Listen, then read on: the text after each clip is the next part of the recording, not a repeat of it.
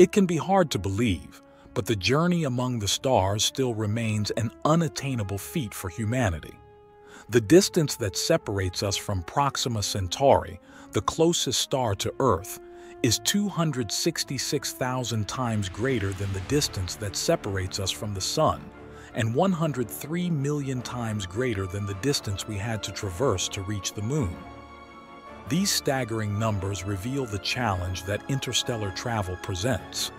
Even light, which travels at the maximum speed allowed by the laws of physics, takes 4.3 years to reach Proxima Centauri from Earth, while less than eight and a half minutes are sufficient to span the space that separates us from the Sun.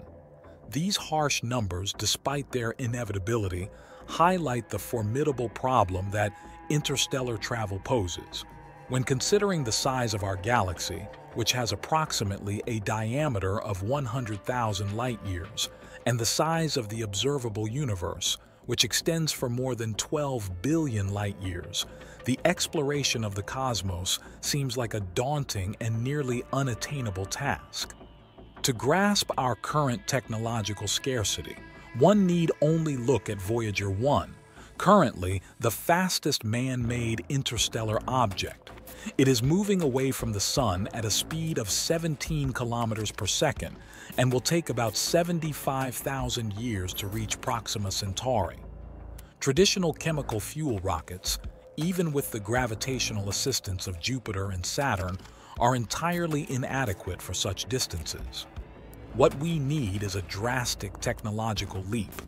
In this regard, various ideas have been proposed, from rockets utilizing nuclear fission and fusion to those powered by matter-antimatter annihilation, as well as enormous sails propelled by light. However, it's important to note that these solutions are still theoretical and would require decades of development and immense technological and economic efforts to materialize. For a distant future, there are those who have proposed the exploration of warp drives, which exist only in our dreams, or wormholes, so far only imagined. These fantastical solutions stem from the extreme extension of the theory of general relativity and could enable movements at speeds exceeding that of light. However, such concepts are far from achievable and remain in the realm of science fiction. Nevertheless, the question of interstellar travel is not merely about building larger, better, and faster spacecraft. It's not just a matter of waiting for science and technology to run their course. There is a physics-dictated impossibility that slows, if not hinders, our plans for free and fast navigation in the galaxy. As Albert Einstein first pointed out in 1905 in his special theory of relativity, no object with mass can exceed the speed of light. Einstein established this limit based on considerations that seem to conflict with common sense, but this limit has been confirmed in many experiments and remains unquestionable. Einstein showed that the energy E of any object is related to its mass m, according to the famous equation EIMC2, where CE is the speed of light, equal in a vacuum to 299,792,458 kilometers per second. This relation states that energy and mass are two equivalent entities that can transform into each other. When we accelerate an object, the energy supplied to it increases its mass. As the velocity approaches the speed of light, the object's mass increases exponentially, making it increasingly difficult to accelerate it further. Trying to surpass the barrier of 300,000 kilometers per s would result in an exponential increase in mass, rendering the velocity practically unchanged. Therefore, the speed CE is a barrier that can be approached but never reached. Massive bodies resist being accelerated to speeds close to that of light, and the closer you get to that speed, the harder it becomes to accelerate them further. Even if it were possible to instantly reach the speed of light, it would still take 4.3 years to reach Proxima Centauri. This means that even when traveling at the maximum attainable speed in our universe, our species could at most conduct some explorations within our own solar system, but it would not be feasible to establish a network of trade routes across the expanse of the galaxy.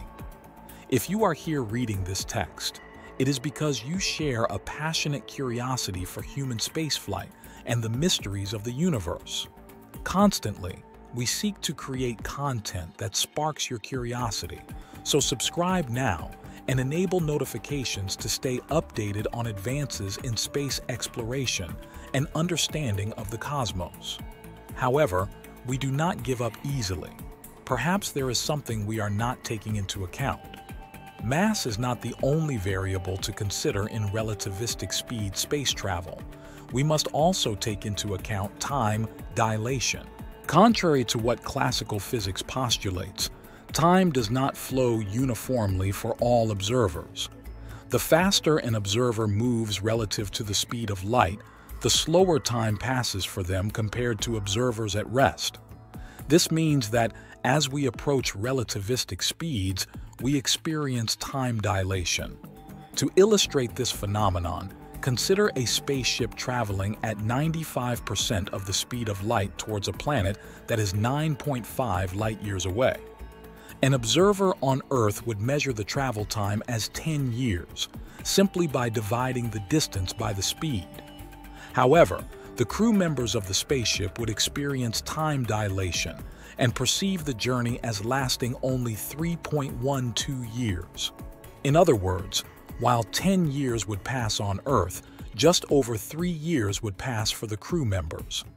Time dilation is governed by a simple formula that predicts that as the spaceship approaches the speed of light, onboard time passes more slowly relative to Earth.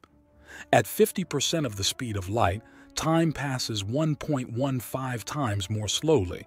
At 75% of the speed of light, it passes 1.5 times more slowly, and so on.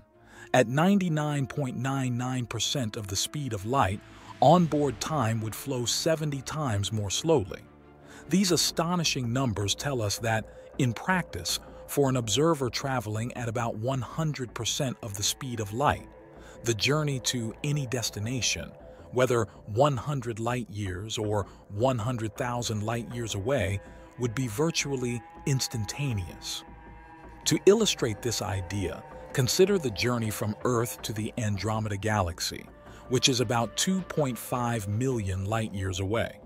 If a spaceship could be accelerated to 99.99% of the speed of light, the journey would last about 2.5 million years relative to Earth. However, for the occupants of the spaceship, the journey would be perceived as lasting only 35,000 years.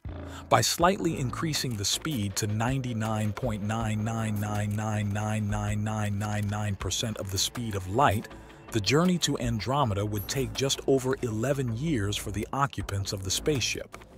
These numbers may lead us to believe that time dilation offers a solution to the problem of interstellar travel. However, there are significant challenges to overcome. Even if we could solve the problem of the energy required to accelerate a spaceship to relativistic speeds, we would still face obstacles. Space is not empty.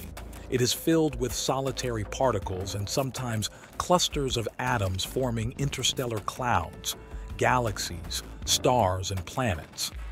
A spaceship traveling at speeds close to that of light would encounter a barrage of particles and ionizing radiation with high penetration power, representing a significant risk to the spaceship and its occupants. These particles could damage the spacecraft's hull and make it dangerously radioactive.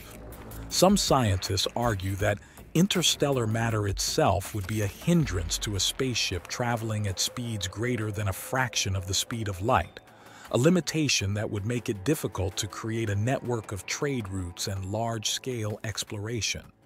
Furthermore, time dilation would create an insurmountable separation between space travelers and their homes. Astronauts would depart with the awareness that they would never see their families, friends, and loved ones again unless they brought them along or had none at all. On the other hand, upon their return, they would find a society vastly different from the one they left behind. Interstellar institutions like the United Federation of Planets, based on trade and cultural exchanges among different races, assume a homogeneous level of technological and social progress, which would not be possible when time becomes such a significant factor. Additionally, sending commercial goods to such distant destinations would become a logistical challenge, as companies would have no guarantee that their cargo would be successfully delivered in a reasonable time frame. Each spaceship would become, in practice, an isolated world without a homeland and without connection to its past. This raises questions about the purpose and feasibility of such endeavors. The famous Fermi paradox also reminds us of the scarcity of evidence of extraterrestrial life visiting our planet. If the universe has existed for about 13 billion years, and it takes approximately 5 billion years for a planet around a solar-type star to develop intelligent life, this implies that many civilizations would have evolved before ours. The absence of contact with extraterrestrial civilizations suggests that overcoming vast interstellar distances is a feat beyond the capabilities of any civilization. Thus, we can respond to the Fermi paradox by stating that while extraterrestrials may exist, physics does not offer viable solutions to overcome the immense cosmic distances. Interstellar travel will remain a distant dream, and we will be forced to remain confined to our solar system, exploring only the two or three nearest stars. Interstellar exploration is undoubtedly a monumental challenge that requires scientific and technological advancements that are currently beyond our understanding and capabilities. While we may continue to dream of the stars, it is important to recognize the limitations imposed by physics and find creative ways to explore and understand the vast universe that surrounds us.